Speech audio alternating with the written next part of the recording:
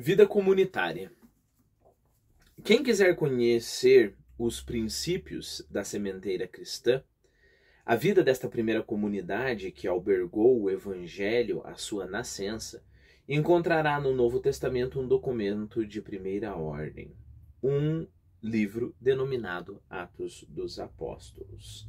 Bom, é claro que você vai lembrar que nós temos uh, na Bíblia basicamente o Novo Testamento, né? Nós temos o, os quatro evangelhos contando a mesma história, a história de Jesus, uh, por diferentes perspectivas. Um tem ali uma passagem que o outro não tem, né? Mas são, uh, digamos assim, paralelos. nós temos também todas as cartas, a grande maioria delas cartas de Paulo, mas temos também cartas de Pedro, Tiago, por exemplo. O Apocalipse, que é um livro único, né, uma revelação, e é, nós temos também os Atos, né? Então, os Evangelhos e os Atos são os livros históricos no Novo Testamento. Né? Então, um livro denominado Atos dos Apóstolos, escrito muito pouco tempo depois dos acontecimentos, por volta de 60 a 64, por um homem que, sem ser testemunha direta da ressurreição, estava ainda impregnado da mais viva tradição é, um, é uma obra é, de um interesse sem par, é claro, né? Bom, é interessante essa história da viva tradição. A, a, a tradição uh, acontece uma coisa interessante. Conforme a tradição vai viajando pela história, ela vai ganhando força e perdendo força, uh, né, por diferentes aspectos. Uh, talvez a tradição vá perdendo força porque, ora, se eu estou no ano 30, por exemplo, eu uh, Jesus está na minha frente, né? Jesus está na minha frente. Então eu posso escutar o que Jesus fez, vamos por se bem que Jesus começou com 33. Então vamos lá, vamos lá, no, no ano 30 e 35, né? E eu posso escutar o que Jesus fez alguns anos atrás, eu estou vendo Jesus, e isso dá uma, uma, uma força de realidade muito, é claro, muito premente, né? É... Bom, se eu já estou no ano 60, ainda assim é uma força muito grande, porque embora eu não, não veja mais Jesus, né, uh, eu converso com um monte, eu tenho a possibilidade de conversar com um monte de gente que viu Jesus. Então, poxa, não é uma coisa disse que me disse. Aí na próxima geração, vamos supor, eu estou lá pelo ano 80, 90. Bom, eu já eu só posso conversar com pessoas que conversaram com pessoas que viram Jesus, né?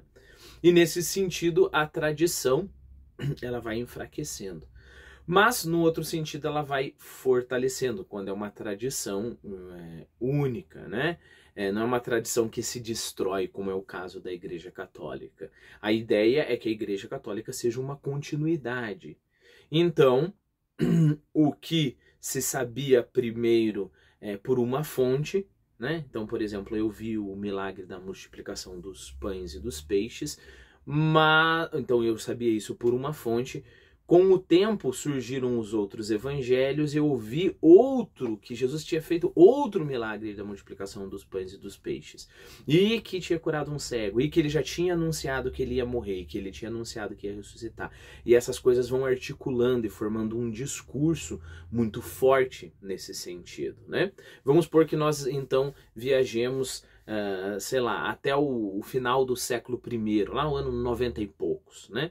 Nós vamos escutar que Jesus tinha falado sobre uh, não restar pedra sobre pedra em Jerusalém, e depois nós vamos ficar sabendo que realmente uh, Israel foi destruída, né? ou Jerusalém foi destruída pelo Império Romano no ano 70. Percebeu? Isso vai dando mais concisão ao discurso. Então, embora eu já esteja muito longe de pessoas uh, que efetivamente viram Jesus, é, então essa é a fraqueza conforme a tradição vai passando, mas a força, a grande força é que as coisas vão se articulando maravilhosamente bem. Né? Não só os relatos históricos, a, a lógica da narrativa, né? É, bom, a, as, sei lá, os livros, né? E assim por diante. É, então vamos continuar. É bastante incompleto, sem dúvida, o Atos dos Apóstolos, porque o autor, por mais consciencioso que quisesse ser, não pôde conhecer nem concatenar todos os fatos. A sua origem e as suas ligações pessoais induziram-no, uh, desculpe, a sua origem e as suas ligações pessoais induziram-no a tomar em consideração mais a ação deste ou daquele apóstolo do que os fatos em conjunto. E é claro, isso não é demérito algum, significa simplesmente que quem escreveu foi um humano, né? Inspirado, depende da tua crença, né? Inspirado por Deus, mas mesmo assim um humano. É claro que se tem lá 12 apóstolos, eu sou amigo de dois, eu vou focar nesses dois. Nos outros eu não posso focar tanto assim. Não há neste livro a intenção de satisfazer a curiosidade histórica, mas a de exaltar a fé. Então, se eu tenho um, um exemplo majestoso de fé aqui na minha frente, por que, que eu vou uh, procurar uh, o feito dos doze apóstolos que cada um estava fazendo, como essas coisas se integram e assim por diante? Eu já tenho aqui na minha frente uh, com toda a riqueza de detalhes, um, o, o, feito dos apóstolos próximos a mim. Né? Uh, tem uma notinha aqui, depois de sua origem suas ligações pessoais. Conferir capítulo 2, Cristo anunciado aos gentios. São Pedro e São Paulo estão no primeiro plano dos Atos, ao passo que os outros apóstolos são quase completamente ignorados sobre o livro do, dos Atos e seu autor, conferir também o capítulo 4 e a gente vai chegar lá. Né?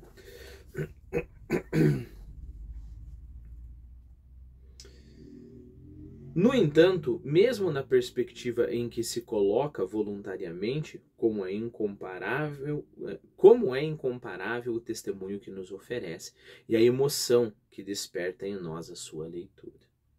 É verdade que não se encontra nesta obra aquele brilho que nos evangelhos jorra diretamente da pessoa de Jesus. Todo relato torna bem sensível o imenso vazio deixado pelo desaparecimento do Mestre. Mas, por muito inspirado que seja, é o livro de um homem que narra os feitos de outros homens e acaba por comover-nos. Em que outro texto poderíamos encontrar uma imagem mais doce e mais entusiasmada de um cristianismo quase isento de servidões do mundo, apesar das misérias inerentes à nossa natureza, e que procura estabelecer sobre a terra o reino de Deus? Bom, é claro que este vazio, né, essa diferença de um relato da vida de Jesus e o relato da vida dos apóstolos aconteceria mesmo. Só que a gente poderia pensar, né, por quê? Né, por quê? Bom, a explicação exterior é Jesus é Deus e os apóstolos são homens. Tá bom, essa é a explicação, uma explicação boa, mas uh, por quê? por, uh, o que, que acontece ali que dá essa diferença, né? Uh, uma outra coisa que a gente poderia pensar é: bom, nós víamos milagres em abundância na vida de Jesus, e embora existam milagres uh, no, nos Atos dos Apóstolos, né? É, existe milagres ali, uh, não seriam tanto, né? Como nos Evangelhos. Bom, essa seria um outro, esse seria um outro motivo mas há algo mais profundo e mais difuso quando a gente tenta explicar, né? Nos evangelhos você tem essa, essa, esse certo brilho, assim, ao mesmo tempo que há uma simplicidade é, enorme, né? Tanto nos milagres quanto na pregação de Jesus, há uma, há uma profundidade muito grande. Em matemática, parece que não é relacionado, mas em matemática se fala muito da beleza e da elegância de uma equação, por exemplo, né? Então você tem lá uma equação de cinco páginas para resolver um problema e vai um matemático melhor do que esse que desenvolveu esse raciocínio de cinco páginas e faz assim em duas linhas, né? Ou até em uma linha. Tudo aquilo que foi se desenvolvido em cinco páginas. E, e aí você pode falar de uma elegância matemática, né? Você tem toda a profundidade daquele raciocínio enorme de cinco páginas, mas ali numa linha. E parece que é mais ou menos isso que a gente sente no Evangelho, né? Nos quatro Evangelhos, na verdade. Uh, há ali uma profundidade enorme só que em momento nenhum Jesus vai destrinchar as coisas como um filósofo ou um doutor. Ele está muito além daquilo ali, né? Ah, e conectado com isso, há também um, uma, uma certa contradição. Só que a gente vai trocar essa palavra e não vai chamar de contradição, mas tensão, né? É, não sei se eu já comentei nessa série de vídeos, mas uma boa filosofia ela sempre vai chegar e chegar ao ponto de ver que a, a realidade ela é composta de tensões, né? Que seriam parece que aspectos diferentes da, da realidade se contradizem, né? Uh, bom, e aí é, é, isso que a gente vai encontrar no Evangelho, né? Ao mesmo tempo que Jesus vai lá e começa a chicotear os carinhas que estavam vendendo, só queria ganhar dinheiro, né? Estavam ali no templo tentando vender suas coisas. Esse mesmo Jesus, ele é o Jesus que protege a mulher adúltera, né? Que segundo a lei deveria ser apedrejada. É de direito que essa mulher seja apedrejada. Então tem tem esse tipo de coisa, né? Você tem o Jesus extremamente bondoso que vai, através de sua mãe, né, é, ser, é, ser comovido a ponto de, de, de, dar vinho uma festa, né, que é uma coisa mais superficial, que dá vinho para o pessoal que está no casamento.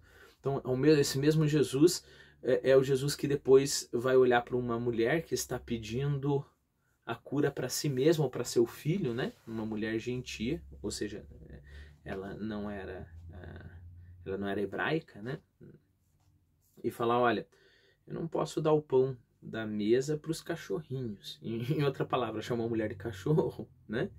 Então, esse mesmo Jesus. Então, você tem essas várias tensões. Abrindo um parênteses aqui, tensões estas, é claro, que são a, a filosofia, né? Que estão no cerne da Igreja Católica, da Igreja Cristã, né? E aí a gente vê essas tensões todo o tempo. Como é que pode eu ganhar a minha vida só abrindo mão dela, né? Como é que pode é, eu, eu, eu vencer abaixando a cabeça? É, como é que eu posso ter glórias lavando os pés das outras pessoas, né? Então todas essas tensões, é claro que vão aparecer, né? Afinal de contas, como eu falei para você, isso é, é, é, o cerne da filosofia católica, né? Uh, mas ali elas apareciam naturalmente, organicamente nos evangelhos, né? Depois a gente tem que, do nosso modo todo desajeitado, né, com as nossas com as nossas equações lá de 150 páginas, tentar responder algo que Jesus responderia com um olhar somente. Né? Bom, vamos ver onde que eu parei. Acho que esse vídeo já está longo. Continuamos no próximo.